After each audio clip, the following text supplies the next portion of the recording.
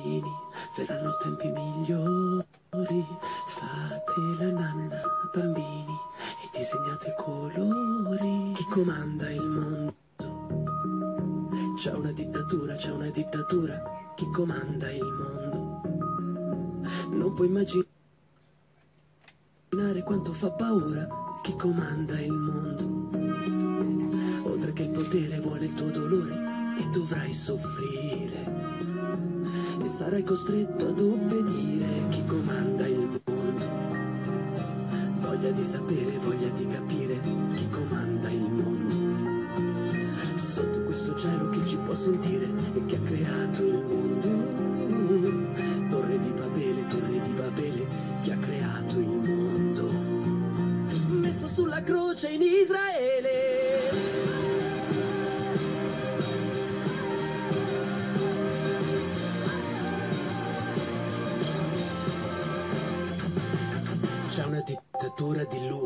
Illusionisti, finti economisti e equilibristi, terroristi padroni del mondo peggio dei nazisti, che hanno forgiato altrettanti tristi arrivisti staccanovisti, illusionisti che ci hanno illuso con le parole libertà e democrazia, fino a portarci all'abbatia, creando nella massa una massa grassa di armi, di divisione di massa, media, oggetti, nomi, colori, simboli, la pensiamo uguale ma siamo divisi noi singoli, dormiamo bene sotto le coperte, queste sorridenti merde. Fate la nanna, bambini, verranno tempi migliori. Fate la nanna, bambini, e disegnate colori.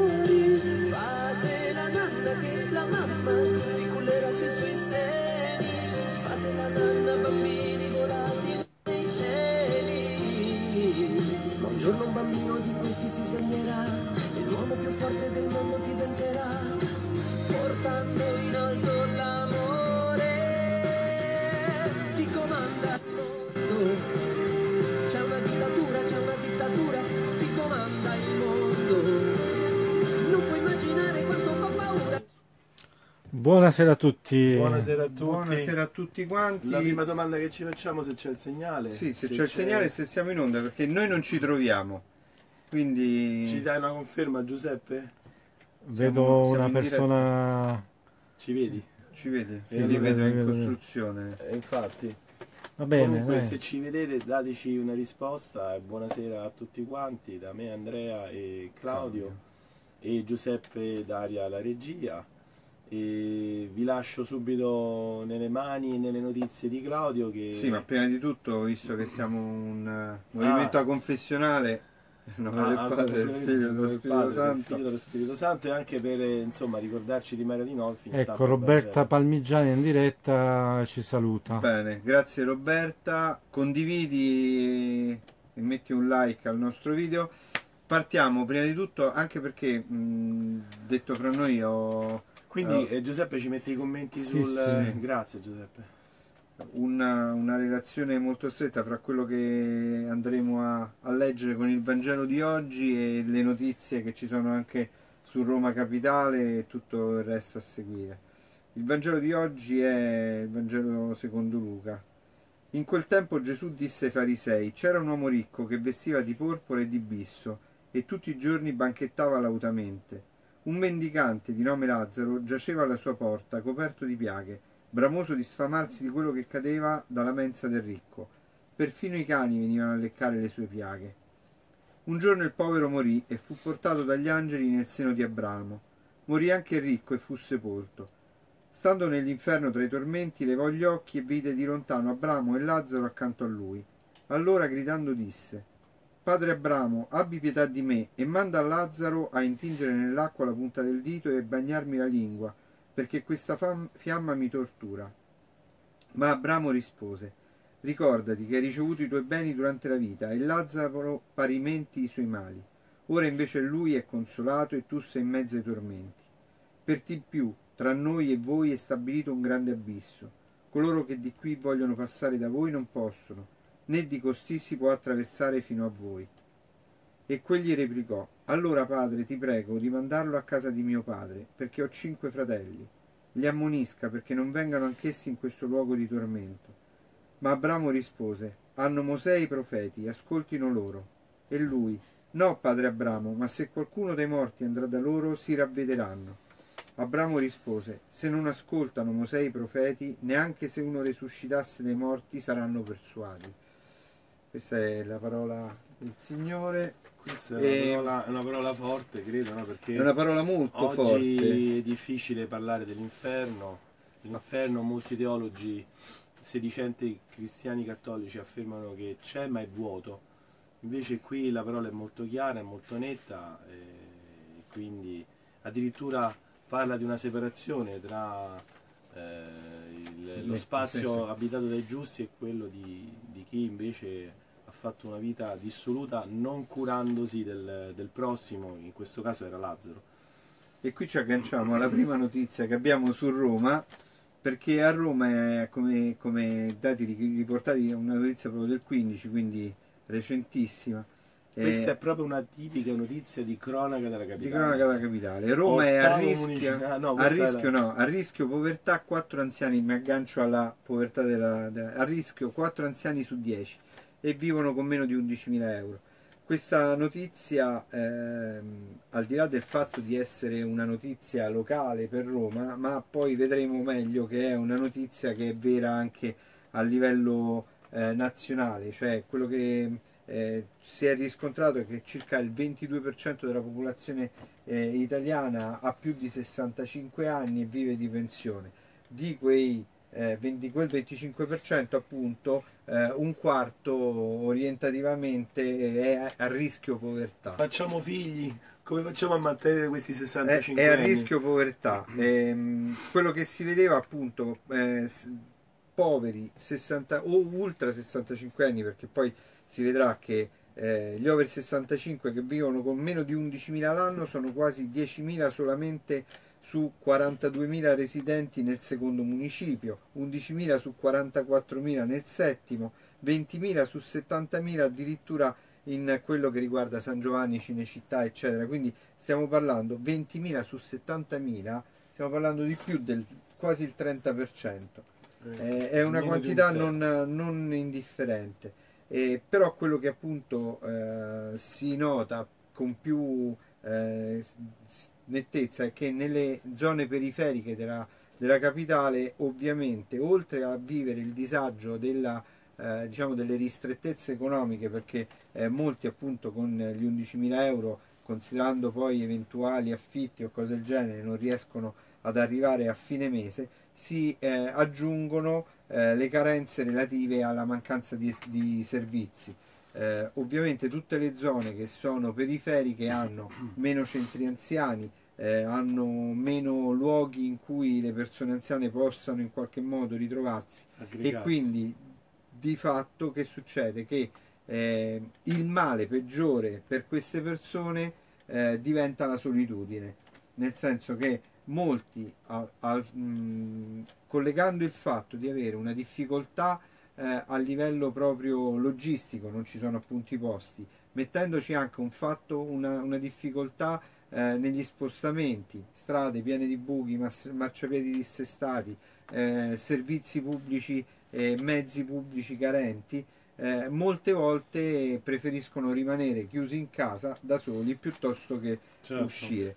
Ehm, questo ovviamente ehm, è, una, è una cosa molto molto grave, eh, ma quello che vi stavo dicendo prima è appunto che eh, il dato Istat che è che gli italiani sono più vecchi in calo e le culle sempre più vuote. Quindi torniamo al discorso che noi abbiamo sempre sostenuto, che tu dicevi prima, fate figli. La natalità è in calo costante e, e non si riesce materialmente a, a- a- a supportare la nazione in questo modo. E in Era questo interessante quella notizia che avevi citato tu sul nostro gruppo di quell'imprenditore del Veneto. Ma infatti, infatti ci arriviamo, ci arriviamo anche a quello, eh, nel senso che appunto quello che diceva, dicevamo anziani soli, pochi soldi, ehm, opere dissestate, nel frattempo grandi incompiute, così titola un articolo del 12 marzo di Daniele Autieri, grandi incompiuti, Roma brucia più di un miliardo di euro. Eh, questo perché? Appunto perché ci sono tante opere eh, nella nostra capitale, Nel nostro municipio in particolare, no? nel nostro municipio anche perché nel Le nostro municipio abbiamo le torri, l'acquario dell'Euro, però c'è caserme di Guia Guido Reni, ehm, così come eh, le, le vele di Calatrava, eh, la vecchia fiera di Roma, i mercati generali, Mhm. eh, la metro C, eh, tanto per dirne una, la terza linea metropolitana per la quale sono già stati spesi 3 miliardi di euro è praticamente adesso inutilizzabile fin tanto che non si fa il completamento del tracciato almeno fino a Colosseo e siamo fermi, cioè è un'opera per la quale sono stati spesi 3 miliardi di euro inutilizzata. Le vele di Calatrava, altra opera per cui erano stati spesi 200 milioni di euro per terminarla, ne servirebbero 400, eh, due- 426. Io gua- scusate Giuseppe. Faccini, io guardo Giuseppe, ma se, se guardo non leggo, quindi No, una delle due cose posso fare, tranquillo. E si è assentato il regista, se l'è presa, è scappata, ci ha lasciato in balia sua- del suo telefono, è ritornato. Eh, ne servirebbero per terminare le vele di Calatrava altri 426. C'era una soluzione, diciamo, che poteva essere, che potevano essere le Olimpiadi di Roma, eh, ma la sindaca Raggi ha deciso di mollarle. La quindi... regia ti dice il sindaco. Scusate il sindaco, io purtroppo non ho né i ritorni da nessuna parte, quindi mi sto un po' perdendo in questo Ma senso. Giuseppe ci dà la conferma del segnale. siamo, no? siamo in Sì, diretta, sì, sì, sì, siamo in Siamo in diretta, diretta, come sempre, tranquilli. quindi male. Eh, allora, ehm, stavo dicendo, eh, abbiamo abbandonato anche eh, le, le- le vele di Calatrava, per cui pure quelle eh, sono un'opera ferma così. Eh, dall'altra parte, il nostro municipio, l'acquario, eh, nel quale nel quartiere Euro eh, i privati nell'acquario avevano eh, speso già più di 80 milioni di euro. Ovviamente lì pure lì ci sono stati dei problemi per cui anche quello si è fermato e eh, servirebbe un intervento anche in quel senso perché eh, possa ripartire e almeno portare a qualche cosa. Altra cosa molto eh, triste è la vecchia fiera di Roma per cui costerebbe, costa investimenti, eh, ma non solo, lì sono stati tagliati del 35% le cubature sulle- sul progetto della fiera che c'era, per cui, e questo ovviamente voluto dalla giunta pentastellata, per cui il valore di mercato di quella zona che era di 120 milioni di euro ovviamente si è ridotto a 80 milioni di euro. Stesso discorso vale per la riqualificazione dei mercati generali dell'Ostiense, dove dovrebbe sorgere la città di giovani. Qui l'indecisione è sovrana e il rimpallo 5 Stelle si gioca tra il municipio ottavo e il comune, ma il costo per un mancato via libera potrebbe attivare penali milionarie. Eh, a questo proposito ci agganciamo a una, a una notizia proprio dell'ultimo secondo, nel senso che all'ottavo, comu- all'ottavo municipio di Roma eh, si, è dimesso, si è dimesso questa mattina il presidente Pace. Si è dimesso eh, perché appunto ha detto che era impossibile governare. Impossibile governare ehm, a causa dei eh, dissidi interni. Eh, a testuali parole dice era impossibile continuare in queste convenzioni con una maggioranza che si comportava costantemente da opposizione, controllando e criticando ogni atto della giunta prima ancora che venisse prodotta, effettuando veri e propri blitz negli uffici amministrativi e producendo così un'indebita e inaccettabile ingerenza che ha provocato le reazioni dei dipendenti, che rin- ringrazio per l'impegno profuso in questi mesi e dei sindacati. Eh, di fatto appunto c'era questa rissa continua interna alla maggioranza eh, del- dell'ottavo municipio. Precisiamolo, perché sennò poi ehm, rischiamo di ehm, fare una- un'informazione eh, limitata. L'ottavo municipio di Roma eh, è grande più o meno come Bologna, per cui quando parliamo di un municipio di Roma non parliamo di un quartiere, parliamo di una città.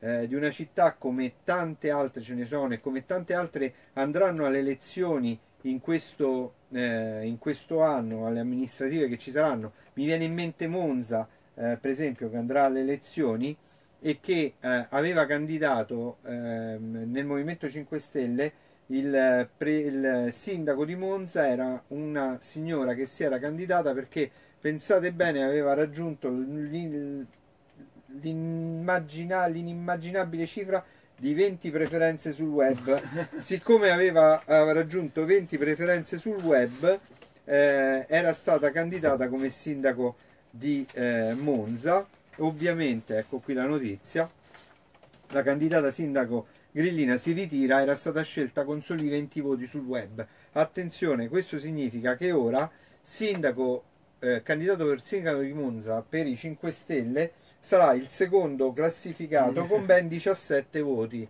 Ora, 17 voti tu mi insegni da noi, manco l'amministratore del condominio fai perché quello è. Però questi sono i candidati che propongono. Io sono convinto, signori, sono convinto, ma al 100% che il popolo della famiglia riuscirà a fare molto meglio. Eh, abbiamo avuto delle esperienze veramente fantastiche nelle amministrative a Roma e nelle altre amministrative che si sono svolte in Italia. Eh, abbiamo raggiunto dei risultati in alcuni municipi eh, per cui avremmo veramente fatto il sindaco di Monza piuttosto che di altri eh, di altri cittadini italiani. Per cui quando parlo di un municipio come l'ottavo municipio di Roma in cui si è dimesso il eh, presidente di municipio perché è impossibile governare, sto dicendo che si è dimesso il sindaco di Bologna perché con i 5 Stelle non può governare. Quindi figuratevi se riescono a governare una cosa più grande, però ehm, questo era, era giusto un inciso, non, non era una notizia, non mi interessava neanche tanto, però mi è capitata e l'ho data. Beh, insomma, è importante, no? Per sì, no, ma ci sono, ti dicevo, eh, sono cose talmente, talmente eh, quisquiglie queste, sono talmente cose più importanti che veramente dei 5 Stelle ci interessa pochino. Eh, quindi quello che stavo dicendo, ehm, 80 milioni per eh, il, eh, le ve- eh, no, scusate, 80 milioni per l'acquario, eh, tutti i soldi appunto che sono per ora stati spesi, bloccati senza nessun frutto. Quindi le partite cambiano, il risultato più o meno è sempre lo stesso e attualmente a Roma si ondeggia sempre fra il no e il sì e, e più o meno siamo in equilibrio siamo, siamo più o meno in equilibrio sul forse condividi, condividi così almeno, like almeno ci vediamo però salutami se ti dico un condivido. Ciao Andrea, dimmelo però. Ciao, ciao Andrea, abbiamo Andrea collegato con noi. Ciao Andrea. A proposito abbiamo Guido Peneselli, sono arrivato, ciao Anna Russo. Eh, Mauro Ciao Guido, Guido attenzione perché Anna Cavallo che abbiamo incontrato Gui... se non sbaglio scusa Anna. Guido era il nostro candidato presidente all'ottavo municipio. municipio. Guido come ti ho detto si è dimesso il presidente dell'ottavo municipio. Ha 20 giorni di tempo per ripensarci. Io sono abbastanza convinto che ce lo faranno ripensare eh, perché sennò sarebbe veramente una, un grosso smacco di nuovo per eh, il 5 Stelle per cui ce lo faranno ripensare. Qualora non dovesse essere così il, l'ottavo municipio verrebbe orientativamente commissariato che significa che poi probabilmente si dovrebbe arrivare a delle nuove elezioni per l'ottavo municipio e non mi stupirei che le volessero fare in concomitanza con quelle, con quelle del decimo. ovviamente saremo in battaglia con te Guido, inutile che te lo dico. Eh, abbiamo appena inaugurato il circolo del eh, Tommaso Moro, San Tommaso Moro di Roma Sud, ottavo, nono e decimo municipio. Martedì eravamo con Guido e appunto dicevamo che avremmo dovuto fare questa battaglia per le elezioni del decimo municipio. Allora mi, sa mi, sa che le facciamo pure per, il, per l'ottavo e non ci sono problemi.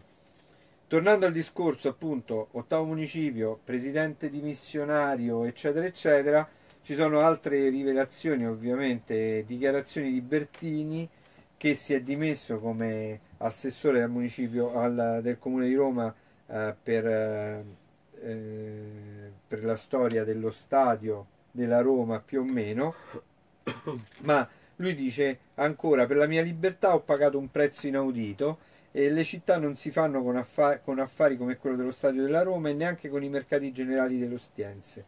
Eh, e appunto dicendo che lo stadio della Roma, così come i mercati generali dell'Ostiense, sono di fatto a suo parere una truffa.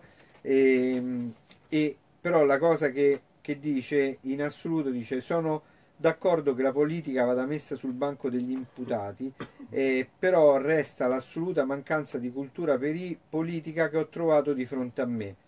Eh, quindi diciamo che conferma i giudizi che ha dato, per cui poi è stato in qualche modo estromesso dalla- dal municipio. Ci saluta Mauro Rotunno, eh? Grande Mauro, abbiamo intravisto la tua trasmissione con la splendida Silvia. Bravo Mauro. L'unica cosa che ti devo dire non si sentiva un granché bene. O alzate la detto. voce, fate voi. Ma Però sembra che stanno organizzando una super comunque avete ricevuto 8700 visualizzazioni. Non so, siete- avete superato Mario. no? Non so se vi fa, lascerà ancora andare in onda.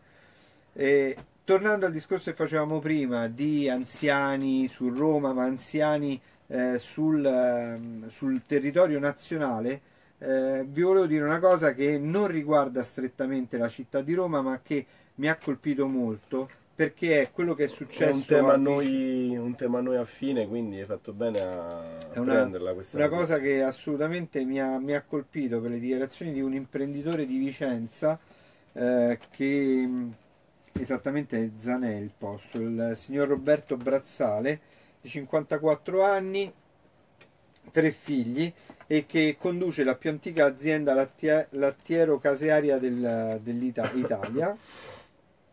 Considerate che eh, è in azione già dal 1784. Comunque, per la sua azienda e per i suoi dipendenti, adesso la sua azienda conta attualmente 550 dipendenti, ha eh, stabilito che per ogni, ehm, non per ogni donna, attenzione, per ogni famiglia che decidesse di eh, procreare, cioè di mettere al mondo un figlio, ma anche di adottarlo, comunque di, ehm, di avere eh, figli, quindi incentiva la natalità, ha deciso di eh, contribuire eh, con una mensilità. Ha detto mi rendo conto che è poco, mi rendo conto che non è molto e che non, è, Beh, non sarà certo quella la cosa. lodevole, Certo, no? non sarà certo quella la cosa che porterà i giovani, le giovani coppie ad avere figli, però quello che ci tiene lui a dire è che al di là del fatto di premiare chi in questo senso si impegna, addirittura ehm, a fronte di questo, tra virgolette, di questa regalia dei 1500 euro che lui darà a ogni donna, a ogni uomo che decidesse di avere un figlio, ha detto eh, la, la promessa che vuole che gli venga fatta dalle persone appunto che riceveranno questa regalia è che rimangano a lavorare nella sua azienda almeno per altri due anni. Mhm. Quindi, al contrario di quando di solito è quello che veniva detto, no? la, la donna incinta è penalizzata perché sul lavoro eh, viene trattata in maniera peggiore degli uomini, per cui magari si tende a non assumere le donne o quanto altro.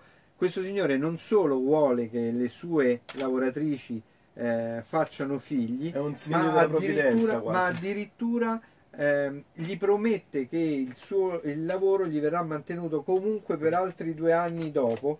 E, mh, infatti dice che la sua segretaria è, è stata a casa con il figlio per ben tre anni perché appunto voleva che crescesse. Però ci sono delle frasi che ha detto che assolutamente vorrei leggere perché, perché sono molto signifi- sono significative. Allora, ehm, allora, dice, quando ero piccolo, dice Brazzale, in giro vedevo mamme e carrozzine, oggi vedo solo badanti e sedie a rotelle.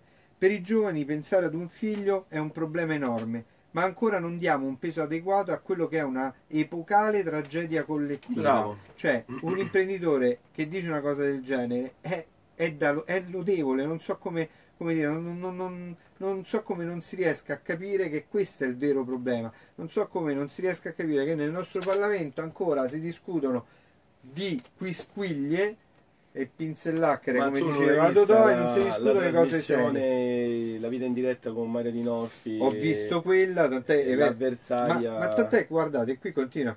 Eh, allora, tra il 2008 e il 2015 le nascite sono pre- precipitate del 20%, un quinto di bambini in meno. Questo, ribadisco, è, è un imprenditore a dirlo, cioè non, non riesco proprio a...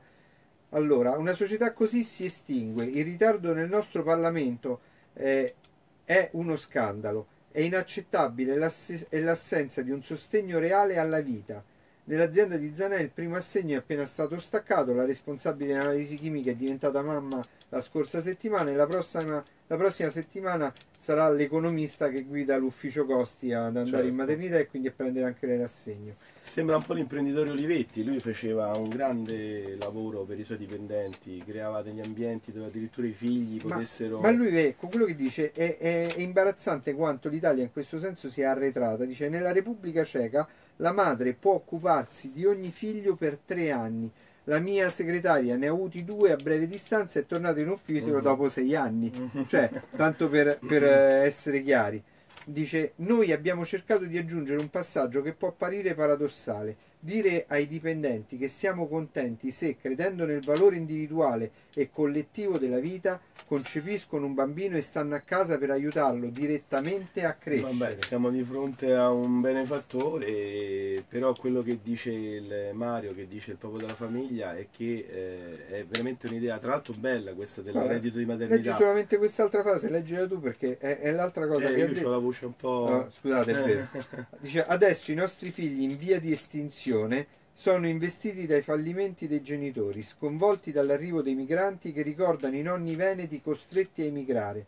Il punto così non è solo premiare il coraggio di chi dona al mondo un essere umano, Mm. ma favorire chi si assume anche la responsabilità di plasmare un individuo di qualità riservandogli tutto il tempo necessario. Beh, ma questa è una Questo persona- significa Questa è una persona che dovremmo cioè, eh, ragazzi, andare a cercare eh, chi c'è. io quello ho detto, chi, chi c'è, c'è in Veneto, andate, Veneto, chi sta nel territorio Veneto, ragazzi, per questo cioè, condividete la puntata e dite, beh, qualcuno Cioè, del popolo della famiglia Veneto vada a il signor incontrare Versato va preso, questo va imprenditore e dire, cioè, queste, queste frasi qua è di una persona che oltre ad avere un cuore c'ha una testa grande, perché qui lui parla di chi ha il coraggio di donare al mondo, cioè come vedete è l'opposto di chi prende un figlio e se lo fa suo. Qui lui parla della logica del dono, io prendo un figlio e lo dono al mondo. E questa è la logica di dare la luce ai figli e persone, non la logica che invece hanno eh, le lobby omosessualiste, e lesbiche e quant'altro che prendono il figlio e lo fanno soggetto e non oggetto di un diritto. Perché loro, perché loro hanno il diritto di avere un figlio. Hanno il diritto di avere un figlio. Loro- loro Qui questo imprenditore parla di donare al mondo eh, eh, un bene che è il bene più prezioso che c'è, e noi italiani in particolare dobbiamo questo capirlo. Il bene di una nazione non sono le risorse, ma sono le persone. Ecco perché siamo contro l'aborto. Ogni non nato è una risorsa che è venuta a mancare al paese e se pensiamo alla più grande donna di questo nostro paese, che è Emma Bonino, così è stata definita da qualche Mm. rappresentante della Chiesa, eh, ci ricorda che le pensioni non saranno pagate e lega questa, questa sventura al fatto della mancanza eh, o alla chiusura o alla messa in atto di ponti, di, di muri che non, non- non aumentano la immigrazione nel nostro paese. Allora, invece di fare questo discorso, cara Emma Bonino, diamo l'opportunità alle donne, come diceva Maria Dinolfi nella trasmissione La vita in diretta, di scegliere. Non stiamo imponendo il reddito di maternità, noi stiamo dando con l'idea del reddito di maternità la possibilità di scegliere alle donne, perché il 68 eh, la- il, dire, il riscatto, il- questo supposto riscatto che eh, avrebbero conquistato le donne è una panzanata, perché le donne sono comunque diverse da- da- dagli uomini, hanno altre esigenze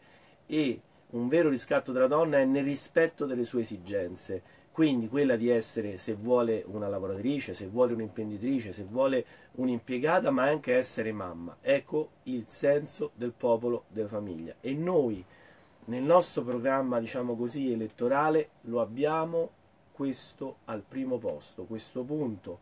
Eh, lo vediamo e lo viviamo come un'emergenza nazionale. Quando diciamo che il popolo della famiglia è per la famiglia eh, non diciamo nemmeno tradizionale, non diciamo naturale, è quella della Costituzione, è quella dell'articolo 29, punto e basta, perché nella Costituzione il popolo della famiglia è quello che difende la Costituzione. Quando diciamo la famiglia è quella contenuta nell'articolo eh, 29 della Costituzione, punto e basta. Quindi difendere la famiglia significa dire alla società, oh, svegliati, datti una mossa, bisogna rimboccarsi le maniche e fare figli, fare figli, ma mettere le, le famiglie in condizione di farli, no a parole, non a chiacchiere. Scusa se... Prego. No, no, no, tanto eh, sei intervenuto appunto su quello che dicevo.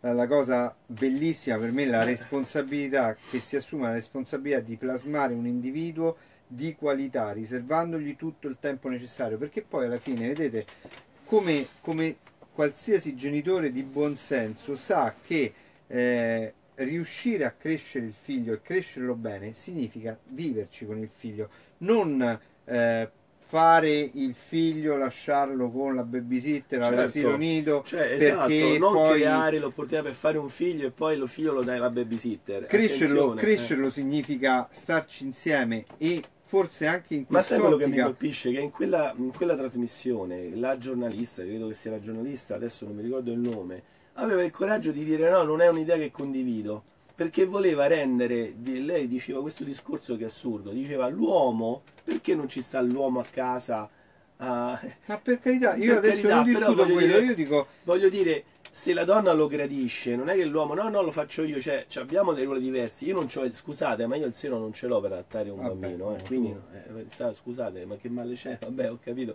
ma io il seno non ce l'ho, quindi ci- sarà un senso eh, dello, del rispetto delle differenze, no? Tanto, tanto che si parla che noi, no- noi non vogliamo uniformarci, noi vogliamo, amiamo le differenze e vogliamo sottolinearle. Il punto è che una, l'iniziativa, diciamo, la- l'iniziativa molto valida appunto che proponeva Mario, che era quella del reddito di maternità, era eh, un'iniziativa che è eh, vera, concreta, reale, perché è fattibile, perché eh, gli studi li abbiamo fatti che, che, eh, se ne possa pensare. Beh, abbiamo usato, come diceva Amato, le proiezioni da qui a non so, 2018, 2020, 2020, Per cui per cui eh, come sono stati fatti i conti per la reversibilità, per Certo. la famosa e discussa pensione reversibilità a persone di cui non avrebbero diritto, che sono coloro che si uniscono civilmente, perché l'istituto della, ehm, della reversibilità era nato quando eh, no, erano gli anni della, prima della guerra, quando appunto gli uomini eh, rischiavano di, di non, di non tornare più e quindi le donne che avevano reso un servizio alla patria, al nostro paese, che era il figlio, che sono i figli, avevano giustamente eh, no, diritto di questa, di questa forma di stipendio, se no come sarebbe andata avanti. Ecco, dare questo diritto a chi non lo ha è è una perdita di denaro economico pubblico che invece Però- la proiezione che fa Amato dice lo Appunto. possiamo creare Però, per fare il reddito di maternità. Appunto, e il, il reddito di maternità era quello che poi era stato proposto dalla vita in diretta, se non sbaglio, da Mario, quando diceva ogni donna che liberamente sceglie di eh, accudire il proprio figlio ha diritto perché lavora due volte, non una, Certo. lavora cinque volte, quindi ha diritto ad essere retribuita tanto quanto se andasse a lavorare in- come impiegata da qualsiasi altra parte. Allora, lasciamo veramente le donne, ma io dico anche gli uomini, ben venga, anche se nella- nell'idea che aveva Mario ed era corretta ed è corretta, è perché qualsiasi figlio da piccolo, quando ha da uno a tre anni, vedete questo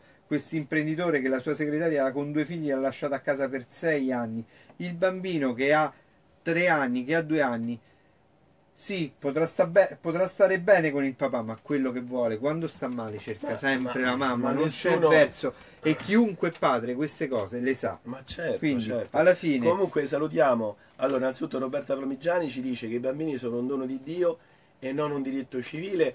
Mi piace questa frase perché la faccio mia, ma ricordate che adesso ti parlerò che una frase del genere di questi tempi sei a rischio di omofobia e te lo spiego io dopo perché ho una, una rubrica che parlerò dell'omofobia. Però la condivido pienamente la sottoscritta. Eh, Maria Veri-. Verita Botti sta guardando il video, Emanuele Bruni sta guardando il video, Carmela Emanuela Cudolo ci saluta, ciao Carmelo, e Francesca Centofanti ciao sta guardando il video, e Claudio Parisini sta guardando eh, il ce video. l'ho fatta, ce l'ho fatta, diciamo. Anna Russo, Anna, Anna Russo, Russo. l'abbiamo Elena salutata. Di Pietro. Vai, vai, Giuseppe, tu, tu Bene, leggi, bene, intervieni bene. e di perché Ah, dice, questa è tutti. bella. Irene Stagliano, mi date l'indirizzo che mando il curriculum, brava. Guarda, tanto se Mo io vai... dico anche a mia moglie, ci ha avuto una brillante idea. Te la mandi a tua moglie e così te la devi dare scale, non è, non è carino quello No, che hai detto. facciamo eh, aprire sì, una sì, dipendenza della ditta qui a Non è Roma. carino. Ma come, Vincenzo sei- Cruciani, ciao. Allora, eh, di fatto questa, questa è una notizia appunto molto importante, non riguardava Roma, ma eh, ci tenevo a darla perché secondo me è una cosa molto, molto importante.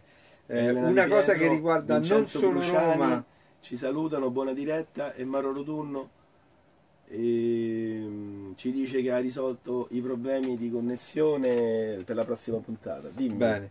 Dicevo, un'altra cosa che invece è uscita fuori per, eh, dal comune di Fondi, eh, che riguarda tantissimo Roma, infatti è uscita subito, è una decisione del, del- del di un giudice di pace per cui eh, si sosterrà gratis sulle strisce blu. È una notizia, non è vero, è falso, però eh, la faccenda è che eh, la legge di stabilità prevedeva che i mh, eh, parcheggi a pagamento eh, dovessero dal 2017 appunto essere eh, muniti della, ah, del lettore di tessere bancomat perché appunto la, eh, la teoria è che eh, è, dobbiamo sempre guardare te stai andando via un'altra volta perché eh, appunto dicono che ehm, non, non sempre una persona eh, può avere degli speech a disposizione e quindi così come in tutti gli esercizi commerciali più o meno è possibile pagare col bancomat doveva essere possibile allo stesso modo Quindi un giudice che ha la testa. Allora, questo qui- giudici a testa. questo è, è- ed è stabilito dalla, dalla legge di stabilità che è stata varata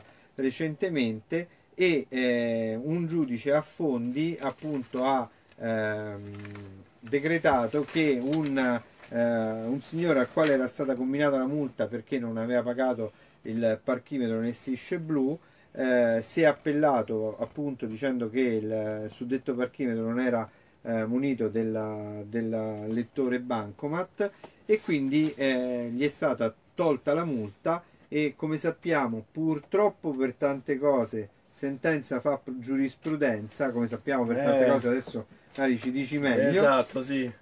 Perché Quindi, di siamo fatto, proprio agli sgoccioli. eh. siccome tutti i banco, tutti i, i parchimetri di Roma non sono provvisti di eh, lettore bancomat, eh, in teoria possiamo oh. Mi guarda. in teoria possiamo tutti non pagare, non pagare le Allora, multe. io rubo spazio a Claudio e, E di nuovo, e siamo di tutti- nuovo non ce la faccio a non farvelo rivedere, siamo tutti Adinolfi perché, Alza, alza. perché la situazione non, Ecco. non mi piace per niente, quello che ho sentito e che avete sentito tutti voi militanti del popolo della famiglia, le offese che sono arrivate, ehm, mi permetto di dire una cosa eh, a titolo personale, anche se sono militante del popolo della famiglia, però dovete sapere che in questo movimento c'è, non siamo nessuno di noi è una marionetta, nessuno eh, ci possiamo tutti prendere le nostre responsabilità e questo è, grande, è un grande dono che ci, ha, che ci ha dato Mario Dinolfi. Per cui io sarei dell'idea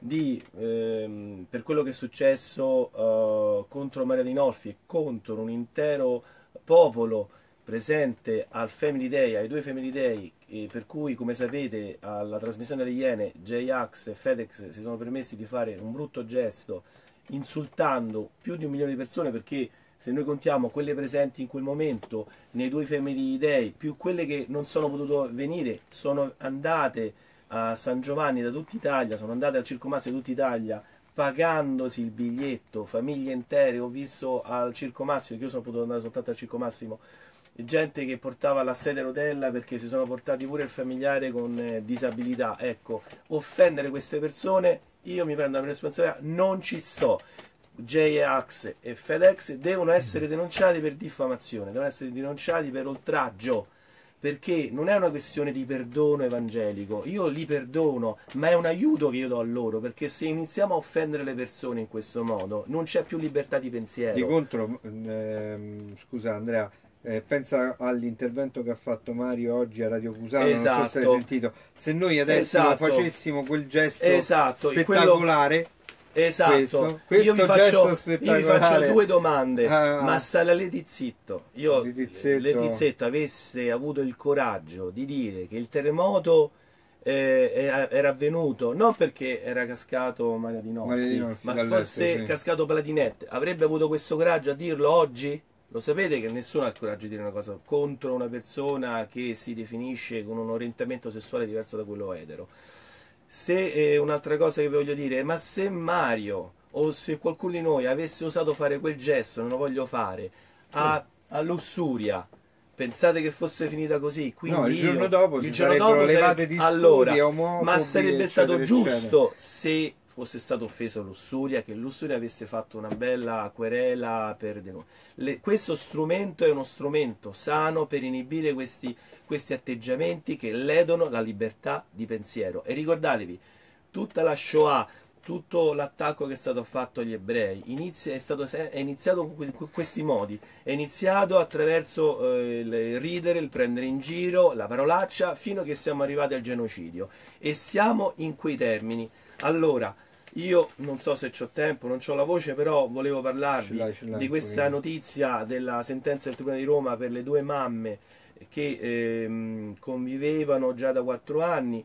Io un pochettino provo a leggerla perché quello che colpisce in queste notizie sui giornali non è tanto la notizia, il contenuto, ma le emozioni che vogliono trasmettere. A me delle emozioni non mi interessa, perché se le emozioni generano eh, leggi che eh, creano un costume che fa male, perché le unioni civili creano un costume che fa male, perché eh, aprono all'adozione, dice no, no, non vi preoccupate, votateci, cattolici che siete, che siete in Parlamento che avete fatto passare la legge sulle unioni civili. Vi rendete conto che dicevate no, non passerà mai, non passerà mai la step child adoption? È passata e passa con le sentenze, sentenze assurde, sentenze che fanno leggi contro la legge. E qui mi sembra che anche Mauro Rotuno ci ha fatto una La poesia leggo? che dopo La leggo, la leggo adesso perché volevo leggere quell'altra prima, però me la Esatto. sono scordata. per Però cui- ci deve dire Giuseppe se ci abbiamo qualche minuto in più per, Sì, sì, per sì, sì, farvi vai. capire che Vai. cos'è l'omofobia, perché quando la, ehm, appunto prima la nostra amica ci dice che i figli sono doni di Dio e non sono diritti civili, tu sei omofoba secondo la legge che potrebbe uscire perché sta a bagno Maria, noi ci stiamo preoccupando, noi in questo stemma ci abbiamo no gender, ma noi dovremmo mettere no scalfarotto, no legge sull'omofobia perché è una legge tremenda, è una legge liberticida. E noi se siamo scesi in campo non è soltanto per questo, perché questa è una cosa gravissima, è la prima volta in Italia, e pensate che in altri paesi come in Inghilterra, in Francia già ci sono queste leggi, dove c'è un reato di opinioni. Per cui vi dico soltanto questo e cerco di essere breve. Salutiamo Paola Procaccini, Carmela Cutolo, Anna Cavallo, Sara Deodati e Angela Ciconte che ci stanno guardando. Ciao a tutti quanti, grazie della vostra vicinanza, del vostro supporto, ma vi rendete conto cosa hanno detto ad Adinolfi? È un sito, classico sito di filo gay e filo lesbiche che dicono che stanno chiedendo o vorrebbero intentare una causa per togliere la figlia ad Adinolfi perché i contenuti dei suoi pensieri sono eh, fuori dal mondo, ma ci rendiamo conto? Ma se permettete, io nella legalità a queste persone le voglio attaccare per le offese che recano. Allora, quello non è un reato di Stanno opinione. cercando in tutti i modi di creare una corrente di pensiero. Stanno creando e noi ci dobbiamo svegliare, per questo condividete, per questo e chiunque di noi sia simpatizzante, vi prego scendete in piazza, una piazza soltanto, ve lo dico soltanto, e domani alle ore 12 nei pressi di San Camillo si lotta ehm, per il rispetto della legge, anche la stessa legge 194 che prevede all'articolo 9 la possibilità dell'obiezione di coscienza per i medici, si lotta contro questo bando che discrimina e, quindi va contro l'articolo ehm, della Costituzione che discrimina appunto chi è eh, contro l'aborto e chi è no, insomma ci sono anche motivi religiosi. Sara, Sara ci ricorda il forum sociale che si terrà il Perfetto. 24 la- come primo appuntamento, però ricordiamo anche il 22 alla parrocchia che c'è ad Ostia, se poi magari Sara può metterci i riferimenti Il perché io ho- 16 pure dice Sara, mi sembra o Il sbaglio. 16 è oggi, il 22 Ok, c'è no, no, sì, Oggi c'ha no. ragione. il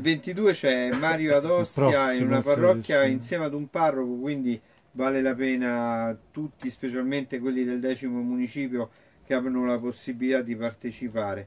Ehm, vi leggo un attimo la, la poesia Sì. che La è parrocchia San Nicola di Bari. Parrocchia San Nicola di Bari, brava Sara che ce l'ha ricordato. E alle ore 18 mi pare Sara?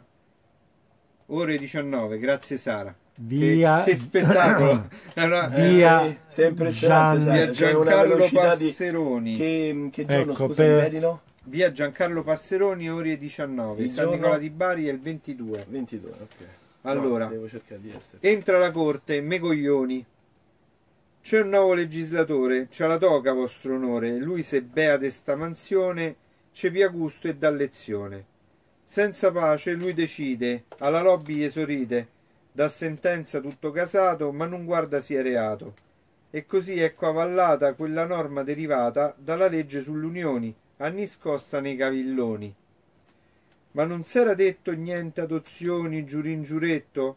Dimme, mo catto deviato, noi avevamo avvertito. Ogni volta che la finestra s'apre entra di tutto, puro le capre. Mo ci sarà secondo atto, co biotestamento presto fatto. Poi i ragazzini defraudati, de uno dei genitori privati, da sentenza senza amore che gli darà solo dolore. Questa è Bella, è una- bella quando dice catto deviati, bellissima, bravo Mauro. Allora, vi voglio dire soltanto brevemente, se ci riesco, che cos'è la legge Riesci, ci ha dato Scalfarotto. tempo, ci ha dato tempo. Ci ha dato il nostro Giuseppe, dato autore, regista eh, Giuseppe Daria. Os- Allora, ospite perché siamo a casa sua, se no Ospiti. ci caccia via. quindi- praticamente questo disegno di legge Scalfarotto è stato concepito per- pensando che nel nostro paese ci sia eh, una eh, emergenza eh, nazionale che è appunto l'emergenza omofobia. Allora la domanda è questa, ma c'è l'emergenza omofobia? Allora, che cosa dobbiamo fare per rispondere a questa domanda? Ci rifacciamo al Contro nostro cattolici. al sì. nostro eh, conduttore che è Maria Dinolfi che ci dice una cosa certa, diate, date i numeri, cioè non date i numeri che siete usciti fuori di testa, cercate di dare conferma de- di quello che dite con i numeri e allora praticamente quali sono i numeri? I numeri sono degli studi condotti veri, non quelli fatti dalle, eh, dalle arci lesbiche e dagli arci gay, perché attualmente la psicologia eh, studi psicologici e quant'altro vengono fatti affidati alle arci gay e alle arci lesbiche. Ditemi se questa è poi scienza corretta. Invece qui abbiamo un organismo che è un istituto de- desmo- demoscopico, uno dei più accreditati eh, eh, dell'America, degli Stati Uniti, che si chiama il Pew Research Center, eh, che ha fatto uno studio che io già vi ho citato qualche tempo fa nella trasmissione, qualche trasmissione fa, che si intitola The Global Divide on Homosexuality. Che cosa ha fatto? Ha cercato di capire in tutti i paesi del mondo, quindi un grande studio, uno studio importante, qual è l'atteggiamento della popolazione nei confronti dell'omosessualità. E apri di cielo, si può dire apri di cielo, è successo che l'Italia, visto che si parla di emergenza omofobia in Italia, l'Italia è nei top 10 dei 10 paesi più gay friendly, cioè dei 10 paesi al mondo che non hanno alcuna austerità, che la popolazione non percepisce alcuna austerità nei confronti degli omosessuali. Questa è la prima notizia. Ma non è finita qua, perché eh, è uscito un altro studio, in questo caso italiano, di un eh, anche questo istituto oh, demoscopico eh, che ha voluto a cercare ah, un'altra cosa che, che è emersa da quello studio precedente eh, degli Stati Uniti è che il 74% della popolazione non ha problemi con l'omosessualità quindi quale cultura dell'omofobia volete fare uscire fuori che sono tutti temi al di fuori della realtà, è veramente pura demagogia. Allora, il 70% della popolazione italiana non ha problemi con l'omosessualità, significa che noi siamo un gradino sotto la civilissima Inghilterra e un gradino sotto la laicissima Francia, ma un gradino, cioè un punto percentuale. Ripeto, siamo nella top 10 dei 10 paesi più gay friendly al mondo. L'altro studio dell'Istituto Demoscopico SGV italiano ha redatto un report, eh, una sorta di eh, fotografia della situazione sociale italiana che l'ha intitolato Scenari eh, in una Italia che cambia. Ebbene, ha cercato di costruire eh, delle categorie eh, di persone, di soggetti che possono essere ritenuti ostili per gli italiani e che cosa è uscito fuori? Sono uscite fuori 15 categorie in queste 15 categorie che dagli italiani vengono lette come ostili ci sono queste ordini di grandezza. L'Europa per alcuni viene vista come ostile, il fisco, gli immigrati, la criminalità, e- ma non esiste tra queste 15 nessuna categoria che è riferibile agli omosessuali. Secondo studio. Anzi, no, vi dico una cosa simpatica: c'è un rimasuglio di qualcuno che ce l'ha con i meridionali. In queste... Quindi non con, eh, non con gli, gli omosessuali o con le lesbiche o con i transessuali, non ce l'ha nessuno. State tranquilli, nessuno vi, vi maltratta, siete ben accetti. Vi vogliamo bene, vi amiamo, vi rispettiamo, vi chiediamo soltanto una cosa, rispettate anche noi, grazie. Ora, ehm, c'è un altro eh, dato interessante e questo riguarda il nostro caro eh, studio dell'Istat del 2012 che è stato presentato alla Camera perché voi sapete che questa discussione del DL viene presentata alla Commissione eh, Giustizia al Senato e eh, praticamente in quell'ambito è stata presentata questo studio dell'Istat, è vero che risale al 2012, ma è quello che abbiamo in mano attualmente, che sostiene che più del 60% è a favore che due uomini o due donne convivano insieme. Un 40%, dice l'Istat, sarebbe favorevole al matrimonio omosessuale. Mi dite dov'è l'omofobia? Io voglio sapere, questi sono dati. Questi sono dati, come quella volta che tu hai letto i dati de, rispetto al femminicidio e mettevi in evidenza che l'Italia era Uno degli so- ultimi uno posti, degli ultimi posti rispetto a 27esimo, paesi sì. dove eh, gli studi di Finlandia, genere Danimarca, esatto, eccetera, eccetera, sono questi i dati molto- che noi vogliamo portare. Io vado un pochettino avanti perché è interessante. È una sbobbinatura di una, eh, diciamo, un incontro che ha fatto Amato, quindi ve lo ripropongo perché è sempre molto interessante. Salutiamo, scusa, Cecilia Maria Biancarelli, anche lei dice siamo tutti Adinolfi. Mauro Rotunno ci dice oh, aspetto lunedì alle ore 19, c'è un post per te. Mauro, si intasa Facebook qua, tu, tu non sai che pubblico che c'hai. Poi sentite questo, sentite questo, questo è interessantissimo perché a che cosa ci serve Lunar? E vi dico una cosa, ricordatevi, Lunar non si può abolire perché Lunar nasce su volontà dell'Europa. Ecco perché io dico a Claudio, Claudio, io voglio un'Italia sovrana, io voglio un'Italia sovrana, non che col meccanismo dell'Europa mi si impongono certe cose. Lunar è una realtà voluta dall'Europa. La cosa buffa è che noi ci siamo autolimitati e rendendo l'ufficio nazionale antidiscriminazione razziale anche qualcosa che si occupasse della discriminazione sugli omosessuali, voluta dal ministro, de- dal, ehm, de- dal- dal capo del gabinetto Monti all'epoca e dal ministro del lavoro La Fornero. Purtroppo ci siamo auto, autolesionati. Bene, che cosa ha fatto Lunar? Cosa ha detto Lunar?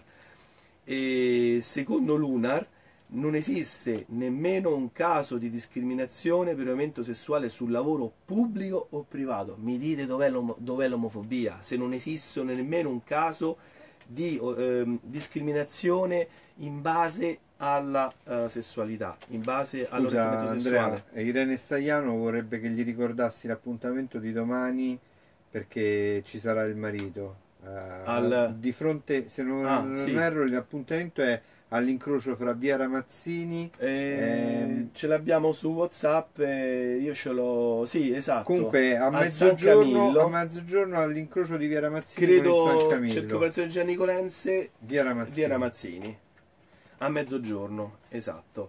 Insomma, ehm, da quello che si sta emergendo da questi dati è che il problema omofobia, il problema di discriminazioni non esiste. Vado avanti.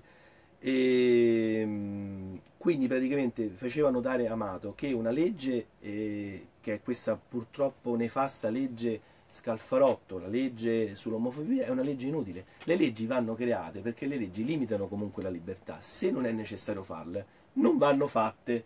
Allora, se non c'è il problema dell'emergenza nazionale omofobia, perché si fa la legge Scalfarotto? Io ne parlo queste cose perché ho una tremenda paura che se uscirà, noi tutti qua, Giuseppe Daria alla regia, Claudio Paresini Andrea La Rosa, andiamo in galera. E sapete cosa ci becchiamo? Ci becchiamo un anno e sei mesi perché siamo comunque omofobi e l'omofobia non si sa esattamente che cos'è, perché nessun giudice l'ha definita e perché loro non la definiscono. E dice Amato che l'omofobia in questi termini ricorda la famosa legge eh, in Russia eh, che ti, ti- il reato di attività antisovietica, che dopo 30 anni eh, da- dal crollo del muro di Berlino ancora la giurisprudenza non è riuscita a capire che cos'è il reato di, anti- di attività antisovietica. Così è la legge sull'omofobia. Lo sapete chi giudicherà ehm, eh, la- il fatto che un atto sia omofobo o meno? Chi lo subisce? Quindi sulla percezione di chi subisce l'atto presunto omofobo. Eh, oppure lo deciderà il giudice, ma questo è uno psicoreato, questa è una lesione della libertà, questa è una legge liberticida. Allora sappiate che la cosa interessantissima, che la legge per tutelare le eventuali eh, omofobie, eccetera, atti omofobi, non viene creata ad hoc nuova eh, con una norma precisa, ma viene presa la reale legge Mancino su che cosa riguardava quella legge? Riguarda eh, contro l'antisemitismo, contro l'antirazzismo. Ma vi rendete conto? Cioè, questo significa che tu paragoni eh, la categoria delle persone con orientamento sessuale diverso agli ebrei eh, o, a, a- o a, che ne so, alle persone di colore, di altre razze e etnie. su queste derive Queste- questa sono- è una cosa, è una deriva, come dice Claudio, giurisprudenziale grave che non deve avvenire nel nostro paese. Per questo ripeto, Attenzione non, perché la soltanto- deriva- l'altra deriva che sta andando piano piano è quella sulla stepchild adoption perché quello lì era uno stralcio, era Esatto, stata stralciata dalle qui- unioni civili qui noi e dobbiamo- adesso è stata ripresentata esattamente eh, il 29 eh, dunque eh, allora il 29 marzo 2016 il decreto legge 2301 che prevede le norme per l'adozione coparentale è una parificazione eh, piena delle unioni civili tra persone dello stesso sesso e le coppie unite in matrimonio in punto di adozione coparentale e riprende testualmente quanto già previsto dall'articolo 5 del disegno di legge 2081 che era a prima firma della, sen- della senatrice Cirinna. Ma- Quindi quello che è stato stralciato da quella legge è stato riproposto pari pari di fatto e sta cercando di eh, avere un suo, ehm, diciamo un suo una sua valenza giuridica. Il punto è che quella è una cosa, quando diceva Mario che è un febbraio di fuoco, che siamo in guerra, c'è quella, c'è la, la legge sul biotestamento, eh, adesso che è andata in discussione alla Camera il ma, 13. ma questa sull'omofobia è la peggiore di tutti. Perché tu non puoi scendere in piazza e dire io sono contro, cioè io non è che sono contro gli omosessuali, io sono per gli omosessuali, io amo gli omosessuali come amo qualunque persona, ma si diceva il giornalista, ecco perché dico alla nostra amica, quando tu dici i figli sono doni di Dio, non sono diritti civili, dobbiamo stare attenti se escono queste leggi, perché la legge Scalfarotto va contro i fondamentali articoli della Costituzione, che sono il il 19 e il 21 che riguardano la libertà eh, di opinione e eh, il rispetto della, della religione, nel senso se la mia religione nel catechismo della Chiesa Cattolica mi dice che eh, gli atti omosessuali sono intrinsecamente disordinati, non lo potrò più dire e questo va contro la Costituzione. Se io dico sono a favore degli omosessuali, ma non sono, non, non acconsento alla loro unione civile perché si apre al matrimonio, all'adozione, non lo potrò dire, posso andare in galera. E ricordiamoci che gente come noi, come Giuseppe, come Claudio come me, come Adinolfi, Adinolfi prima di tutti, noi che siamo associati e che abbiamo atteggiamenti di questo tipo omofobi andiamo incontro a quattro anni di reclusione. E uno come Adinolfi che è il presidente per dirvi va incontro a sei anni cioè non sono queste sono gravi limitazioni alla libertà di espressione. Per questo ritorno e concludo. Quando un J-Ax e un FedEx eh, mi insultano in- ci insultano io non è che mi, mi- mi offendo, ma io come cittadino ho, no, il diritto, ho il dovere di reagire affinché non si arrivi a, queste- a questi, a questi momenti. E se io ti denuncio, caro J-Ax e, e FedEx, ti, ti impedirò dopo di farmi del male o di farci del male, perché stanno uscendo delle storie incredibili, offese enormi a Mario Adinolfi, oltretutto già bannato. Ma, ma ci rendiamo conto? Ma queste sono cose gravi, al di là dei contenuti di quello che diciamo, ma ci permettete di esprimerci o no? Allora questa è veramente è una dittatura. Purtroppo è così. Purtroppo è così, è stato detto. Luciana Frangioni dice che schifo di governo è questo. E- ed è proprio per questo che noi siamo in campo, chiara, cara Luciana, Ma- per cercare Ma di... voi lo sapete che il, e concludo, il giornalista ateo, laico, liberista, che si chiama Piero Stellini, credo del giornale o del Corriere, quando ha scritto ma perché un omosessuale se picchiato deve essere tutelato giuridicamente più di me che sono con un orientamento sessuale diverso da lui? Perché? Ma picchiare una persona è reato chiunque, chiunque sia quella persona. Lui per aver detto queste cose è stato invitato a licenziarsi, a uscire dal giornale. Ecco che cos'è l'omofobia.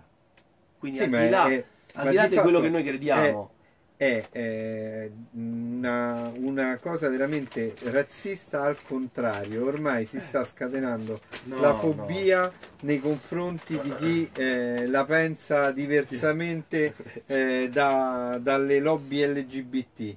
Cioè, eh, esprimere un pensiero Eh, contrario allora a questo punto questo chiediamoci senso, chi è l'omofobo. No, io penso questo, caro Giuseppe, che oggi le vittime, sedicenti vittime, stanno diventando naziste. Ecco, adesso mi banneranno pure a me perché ho usato Per questo termine. Di fatto quello che volevo dire, tornando però alla trasmissione della scorsa settimana in cui eh, ci riagganciavamo a, quella, a quel silenzio forte da parte della Chiesa che denunciava Mario, eh, appunto che quello che stavo dicendo che si è discusso alla Camera questa settimana, il 13, eh, la, la legge sul biotestamento, eh, Camera tristemente vuota come ci dicevano perché c'erano appena 20 deputati a, a vedere questa, questa discussione ma d'altra parte era lunedì e lunedì alla Camera non si lavora e c'era Mauro che ci diceva bello questo posto dove si lavora solamente fino al venerdì mezza giornata perché poi si va via e lunedì si arriva tardi quindi poca gente in Parlamento. Ma la cosa che ha fatto a me eh, ovviamente sempre a me ha fatto piuttosto ehm, eh, mi ha fatto sussultare diciamo eh, dal messaggero aula vuota vescovi vescovi perché poi si danno come diceva eh, Nanni Moretti le parole sono importanti. Le parole pesano. Allora io su un giornale quando scrivo vescovi tra virgolette dispiaciuti ma i deputati il lunedì è normale allora in vescovi dispiaciuti sta a significare che la chiesa in qualche modo fosse o sia d'accordo a eh, questa legge sul biotestamento. Di fatto, però, ovviamente, Ma, qui eh, c'era il nunzio Galantino. Paglia che diceva Paglia una cosa, però Galantino qui ha detto una cosa allo stesso, allo stesso modo pe- pesante, secondo me, perché ha detto su un argomento così delicato che interessa così tante persone, sul quale ci sono così tante attese, dispiace aver visto che purtroppo nell'aula della Camera c'erano così poche persone. Vabbè, ma testa. io Si può dire? no, io no, non si può dire, io direi meditiamo un po' di più. Eh, le parole sono importanti e cerchiamo di dare peso alle parole e soprattutto ecco le fake news, i vescovi non sono Galantino, Monsignor Galantino, lui è uno, potevano scrivere Monsignor Galantino. E non penso che si sia espresso a nome della CEI, anche se, sia, se è il segretario generale, si è espresso a nome suo, così come qui Andrea si esprime a nome suo cercando di fare suoi i pensieri del popolo della famiglia e così come faccio io, ma poi alla fine ognuno risponde di quello che dice in prima persona. Sono io che rispondo di quello che dico, Certo. sono io che andrò in galera come omofobo, piuttosto che Andrea, piuttosto che Giuseppe. Qui dice Elena Di Pietro, ritornando al discorso che facevo prima, eterofobia e cristianofobia. Esattamente questo, cioè l'omofobia ci sta aprendo gli occhi Sara che esiste cicciofobia. Esatto, perché poi su Mario si può dire di tutto a lui, sul fatto che lui è una persona un pochettino voluminosa, come direbbe Gandinolfi, e poi la tolleranza, la famosa tolleranza di queste persone è questa un po', insomma. E infatti Sara Deodati ci dice ciccionofobia, Esatto, cicciofobia. Allora concluderei, se tu Sì. sei d'accordo con l'ultima di... Sì, perché Giuseppe ci ha eh, fatto così, che non so esattamente che cosa L'ultima che riguardava appunto le offese di, di questi due cantanti rapper. Aspetta, ultima su Roma, veloce veloce, poi Campidoglio sondaggio catastrofe, il 40% dei grillini non voterebbe più Raggi. Ti si è dimezzato l'elettorale Bravo. Raggi, poi andiamo Bravo Claudio, lanci le notizie Così. pure così, bravo. Vai. I rapper e la iena. Due rapper e una iena, ma che belli, usano il dito come cortelli. Questa è la loro coraggiosa azione. Mannaccia una parte de nazione. Poi le scimmiette ammaestrate della lobby lobotomizzate. Saudaci e scartri nel loro atto, ma col cervello che è coatto. Ma una volta che c'hanno il core te dibatte con chi pensano rivale. Ma una volta che c'hanno coraggio te risponde senza far oltraggio. Er dito medio me fan baffo. Pagate dazio alla lobby, ma che buffo. Triste la vita da gnomi che fate, tristi voi e le vostre sparate. Ma chi de offesa ferisce, nel redere non potrà crescere, perché tutto passa, tutto scorre. De loro non resterà neanche l'odore. Bravo Neo Pasquini. Grazie. Mauro e con questo vi salutiamo, vi auguriamo Eh, una Grazie felice notte. Giuseppe, scusa se ci siamo dilungati, scusate di tutti. Fermo, fermo, dilungati. fermo Giuseppe. Ciao a tutti gli occhi, era verso giusto. Eccolo qua. Ciao Mario. Ciao, Mario, Ciao a tutti, sei grazie, tutti noi. alla prossima. Ciao.